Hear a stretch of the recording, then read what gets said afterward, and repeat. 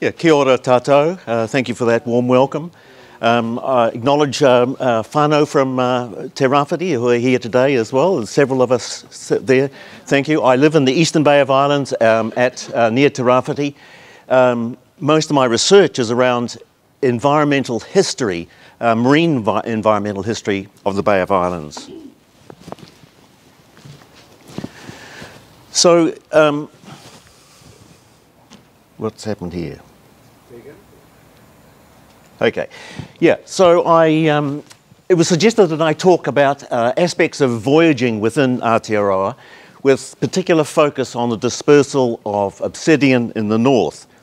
Um, I accordingly have done undertaken a literature review um, of the import and export of resources, for uh, Tai Tokerau, and so the results that I'm giving here now are really indicative only.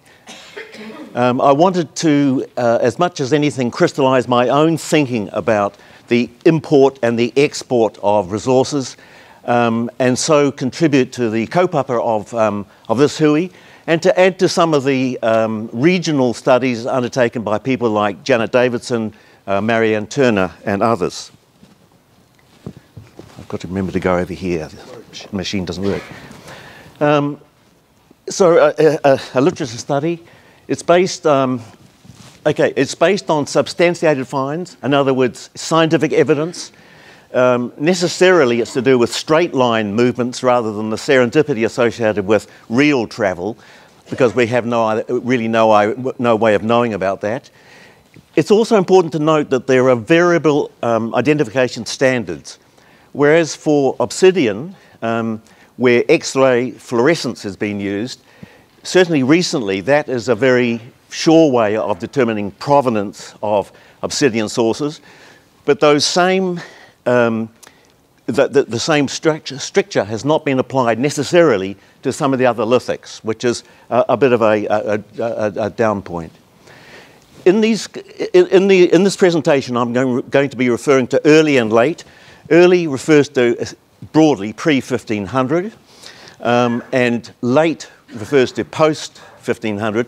I've got the term there boxed early, and you'll see what that means in a moment. When I say when a, when a map says it's early, it means that it was early and survived right through, or imported, imported or exported, continued right through over time into the late pre-contact era. If it's a boxed early, it means that it was something that arrived and only arrived early and, didn't, and wasn't uh, reintroduced. And those are based on some of the sites that have been investigated and dates given in Tai Tokerau, with a boundary here, um, particularly Houhora, Tauroa Point, and Pouerua in, uh, inland. And so in this corridor, a lot of it's to do with deciding whether people voyaged in order to get these resources between places or whether they walked with them.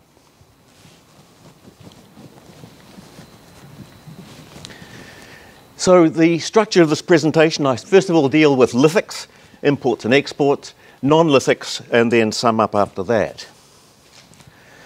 Um, we've seen this before. I want to make this, emphasize the point that Alex made yesterday. Although this is an enormous distance, and those of you who are really onto it will have noticed that I've only got three and a half thousand kilometres here. Other people gave 4,000. That's all to do with plate tectonics.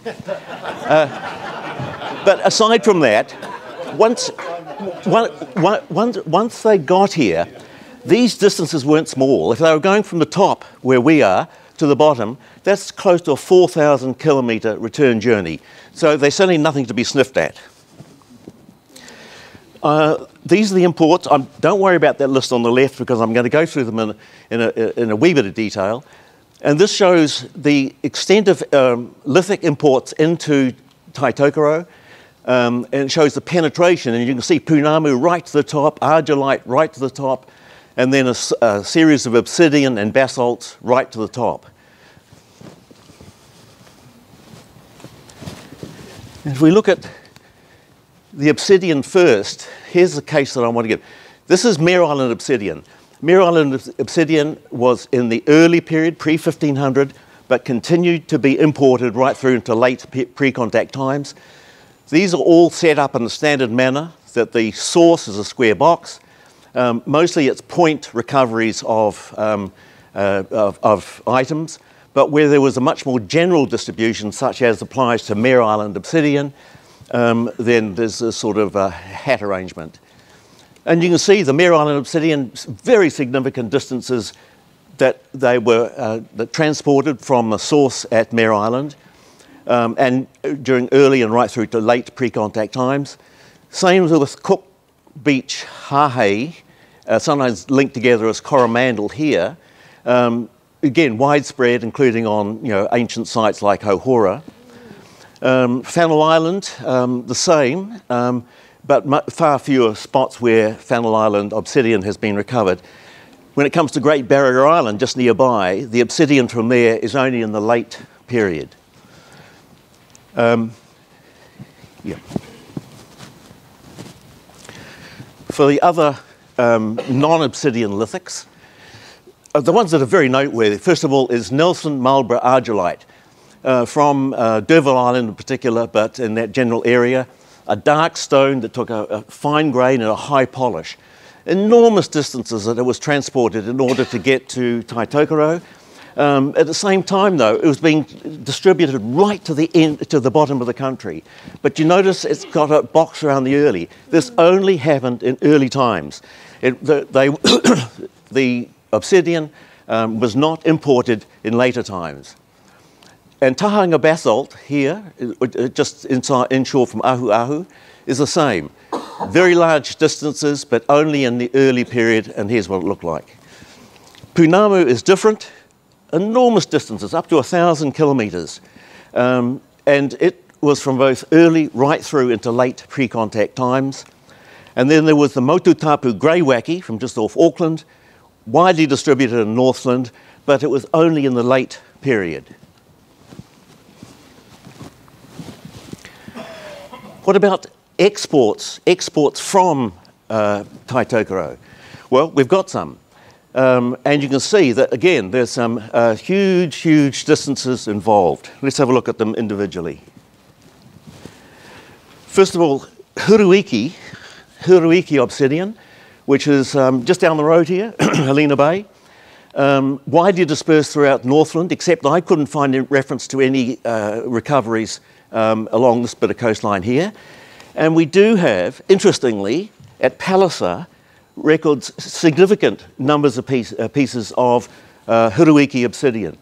However, I have to uh, say that from my understanding, I'm sure that the, uh, the number of the uh, lithics people in this room will put me right about this, that that was an early X-ray fluorescent determination, and uh, I think at the moment it's actually under question.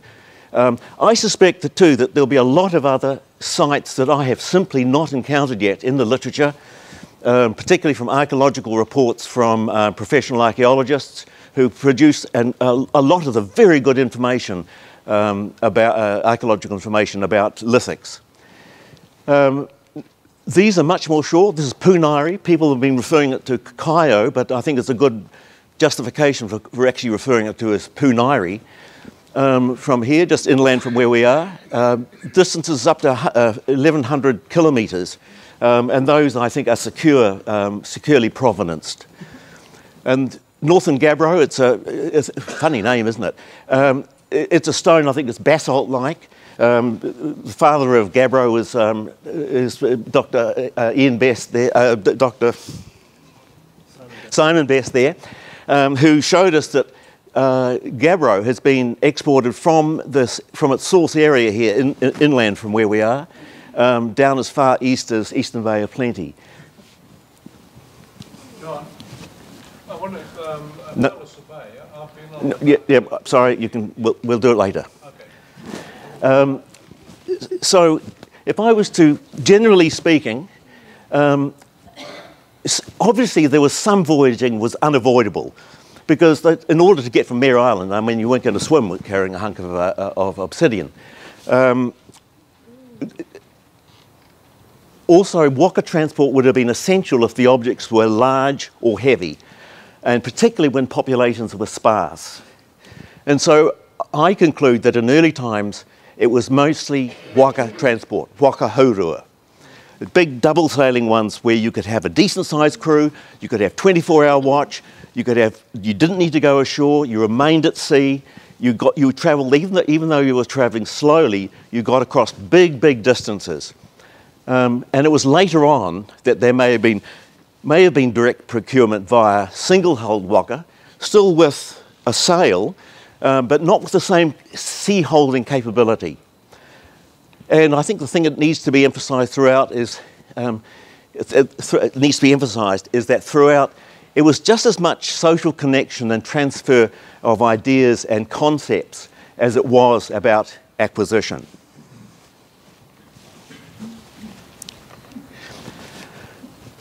Okay, so what other things other than lithics would have been tra uh, transported? I mean, I think if you turned up at D'Urville and wanted some argillite, I think it would be a very good idea to have something on board that you might swap, and particularly if it was something that wasn't available uh, to the people on D'Urville Island. I'm, probably, I'm being very simplistic there, but you get the gist. Um, I mean, you could have aboard stuff that was widely available, such as cured birds, cured kiore, cured kuri, uh, fish and so on. But what about specialist items from Tai Um, we can only be sure about those at the moment if they leave some sort of lasting signature, such, such as a shell or a bone. But in paraphrasing Roger Green, I think that there's no, uh, there's no great issue, no harm in speculating. The first one concerns Toheroa.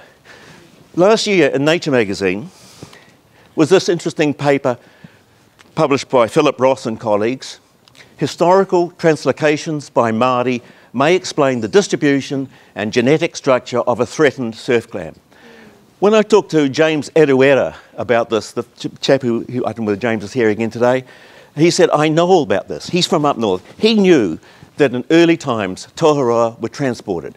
They could keep them alive on the vessels very, very easily, um, just simply in kete with, with a, which are sloshed with water. The thing about Toheroa is they have an extraordinary distribution. They're mainly in the far north on the west coast, but there's a significant population in the northwest uh, Nelson beaches and around Foveaux Strait, and a whole lot of little spots in between. The thing is, the, the genetics of these populations here are indistinguishable from the northern ones, and that just does not make connectivity sense in a contemporary way for a thing that only has a three week larval life. And furthermore, um, you could say, oh, well, they all came from here and went north. Well, possibly, um, except that this is the only part of the country where you get these, and people will have seen them, uh, in this room will have seen them, these very large subfossil Toheroa shells. They're not ancient, they're maybe a thousand years old, um, or some hundreds, um, but they only occur in the northern zone, which means that that is the home of Toheroa. And although you can't rely on this too much, perhaps because of sample size, at Tom Bowling Bay, fairly recently, three artifacts were found. Um, here's one of them here. This is the other one here, which is a, a, a work blank. And the third one was th between these two. Um, and this is the, uh, from a fishing lure, and it's made of subfossil Toheroa shell. Um, now, uh, interestingly, there is a piece of almost certainly sub-fossil uh, uh, shell found at Wairau Bar in the excavations. And it brings us back to, um, uh, I think it was Richard's presentation, about pinctada, the pearl oyster. When the early Polynesians arrived here, they would have searched high and low for a shell that had the same sort of characteristics for generation of fishhooks and so on as pinctada, this thing here. And our, the hypothesis in this published paper is that there was a temporary uh, attempt to use the, the Toheroa shell as, uh, as an alternative. But we conclude that it never really cut the mustard because it never uh, survived. And so Māori ended up using the two other best alternatives, which were large Haliotis iris, the big, you know, the big uh, um, black-footed paua, um, and Cook's turban shell. Um, they were the ones that finally uh, survived. Um, what else would, might you have had in your uh, had aboard with you? If I was going down to D'Urville from up here, and I knew about all my uh, uh, relatives being so keen about the Taro, I would have had heaps of Taro on board. Um, but they won't leave much of a signature, at least not with modern, uh, modern technology. I would have Aute. Aute grew out here. I mean, they, uh, uh, you know, um, Cook and company saw them um, still growing there, although being unused at that point, I think. Um, but Aute, uh, and it's, it's, the bark that's used for making uh, tapa cloth. They may well have had pupu harakeke and pupu rangi as well. Those shells, though, may last, but we need to look out for it. We should have an open mind about it. If those shells, I mean, the advantage of those, you can keep them alive for quite long periods on board the vessel. They might have had certain warm water fishes, in this case, you know, dry, cured fish, particularly things like marlin, which we know were hand-lined um, in quantity along the east coast here. Um, they, I mean, think a bit more. Um, instead of having cages full of chooks, they may have had cages full of small moa.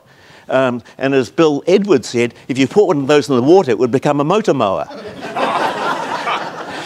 um, uh, uh, and I mean, any, I think if you went to any dock in, in Polynesia today and looked about the stuff that was sit, sitting there, uh, waiting to be distributed, those vessels may well have had those. And I think that um, it'll be not, in some ways, it's a danger of becoming too focused on the lithics and not focused enough on other uh, resources that were imported and exported. I think I've almost finished. So, concluding. So, work in progress based on literature, um, and it's only some of the literature, uh, but certainly, certainly, I think some things are clear. Um, the lithics are much better understood than the non lithics. Some voyaging was unavoidable, such as for the Mayor Island obsidian.